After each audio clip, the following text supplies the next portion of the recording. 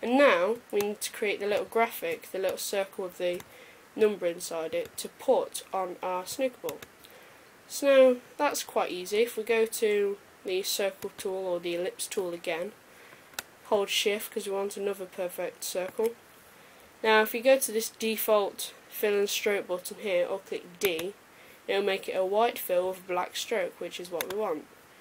If we go to window, open up your stroke palette, there, increase the stroke to about 5 points, I'm going to put it inside.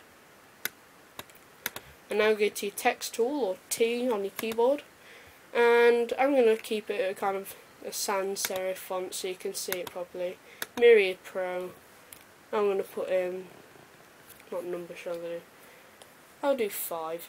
Obviously if you know about snooker and like which balls uh, accommodate to which colours then you want to put the right colour. I'm just doing this for obviously an example purposes. Put 5 in there. Now a good thing to do um, is because if you exchange this Illustrator file to a computer that doesn't have the font that you're using, for example I've added a font called Lightning Volt there for example, if you were to put this on a different computer that didn't have this Lightning Volt um, font stored into it, then you won't be able to access it. It'll just go straight to Myriad Pro. But if we go to type, create outlines, it'll create little anchor points that you can manipulate. And that's no longer editable text, it's just a shape. So if you go to a different computer um, it's you'll still be able to see it. It won't default to Myriad Pro. Obviously, it doesn't matter on mine because I've gone to Myriad Pro anyway. Now, if we go to Window Align again and just align horizontal and vertical center, we can now group this. Control G or Command G on the Mac or Object Group. Now, for for the ability to stick this or map this to the snooker ball, what we'll need to do is create it into convert it into a symbol. So that's easier. That's incredibly easy to do. So if you get a window, symbols, or Shift Control F1, no sorry F11, or Shift Command F11 if you're on a Mac. Just drag this graphic into here. I'm going to name this ball underscore graphic and change the type to a graphic and flash registration doesn't really matter. Click OK and you see it is now turned into a symbol.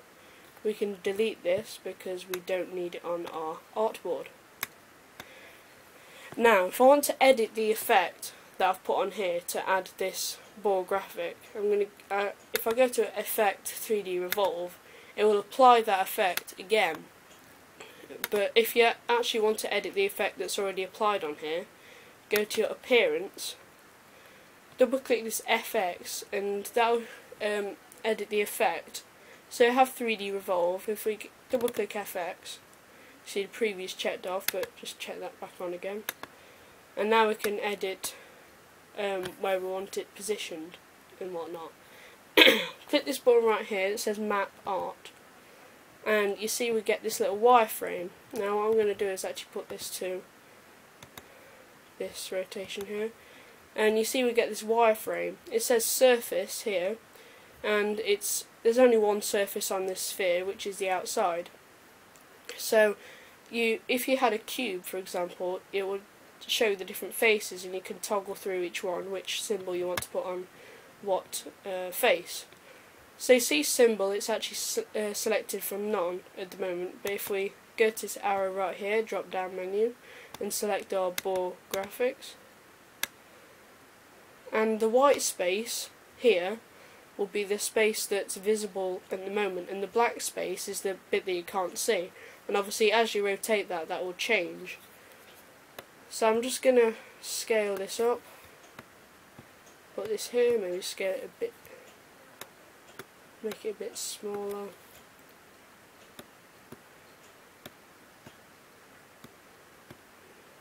And there we go, we have this nice, I'm going to actually make this a bit smaller still. We have this nice ball graphic with the snooker the 3D effect on it to make it look like a snooker ball. Now, the thing is, this um, this graphic here that we've put onto the um, that we've put onto the um, sphere, it still looks a bit 2D because it's not got any lighting effects on it. But if we go to shade artwork, and it says slower because if you have a slow machine, then it might you might not want to do it because it might crash, or for, uh, for example, because it takes a lot of your RAM that's going on there.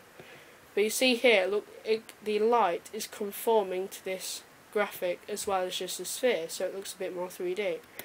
Check OK, and we can we can move this about. We can then, what we can do is, if we hold Alt or Option on the Mac and drag a duplicate copy of this, change the fill to say a green colour, swatches, change it to green, then this bring out this symbol. Go to break link and that'll make it into a normal shape instead of just a symbol. Go to text tool again we can put for example the number 7.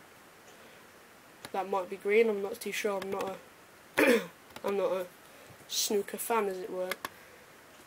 But see we've got this 7 now, if we just align this. We can group that turn it into a symbol again. Graphic. We'll change this to ball underscore graphic 2. Click OK. And go into appearance palette again so we can edit the effect instead of applying another one. Go to Window Appearance or Shift F6. Double click the FX icon.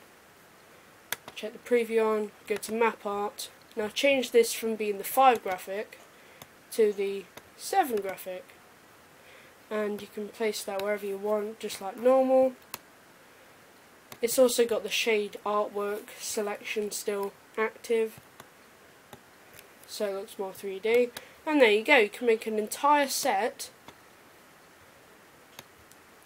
of these snooker balls and you can you've learned a bit about symbols and how to make a sphere and I hope you've enjoyed this uh, tutorial. I'll be doing a lot more Illustrator tutorials uh, throughout the Christmas period and as normal. Um, but till then, I'll see you guys later.